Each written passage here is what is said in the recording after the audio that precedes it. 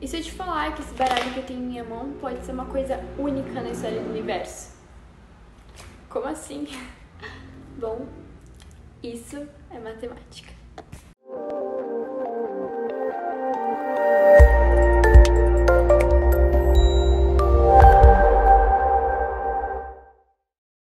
Para entender isso, primeiro compreenderemos um caso mais simples que é o crescimento exponencial. Imagine a seguinte história. O inventor do jogo de xadrez apresenta sua criação para o rei.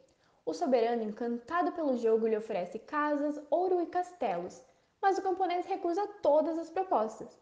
Em troca, ele pede que o rei lhe pague da seguinte forma: na primeira casa do tabuleiro será colocado um grão de milho, na segunda, dois grãos, na terceira, quatro e assim sucessivamente, sempre dobrando o número de grãos da casa anterior.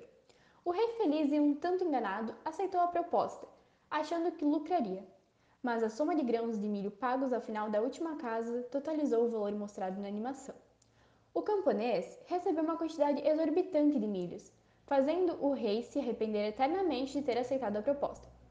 Os números dobrando ou triplicando de valor representam formas do crescimento exponencial. Agora que já visualizamos isso, podemos partir para um crescimento em maior escala, chamado crescimento fatorial.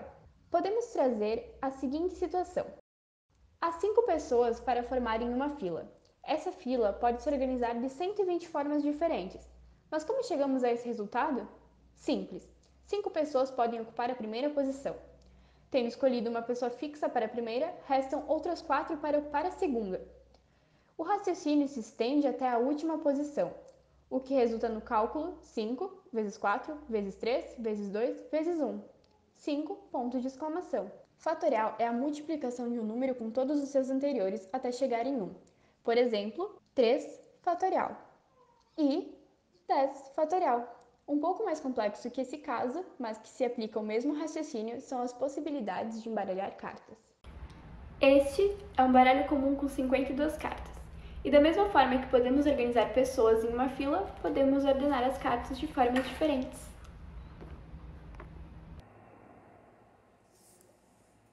A carta de baixo pode ser qualquer uma das 52 cartas.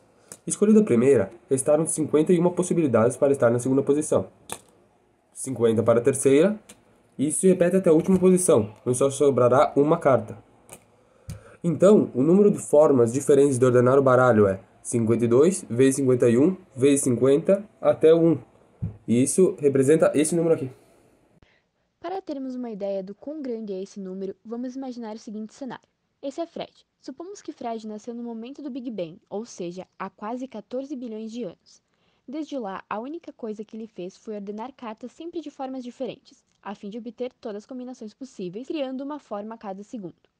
Hoje, ainda faltariam milhares de bilhões de anos para Fred terminar seu objetivo, pois só teria feito 435 trilhões de embaralhamentos diferentes, o que não representa praticamente nada perante o valor total. Por isso, podemos afirmar que é muito provável que qualquer ordem do baralho de cartas nunca existiu anteriormente na história do universo, e isso é matemática.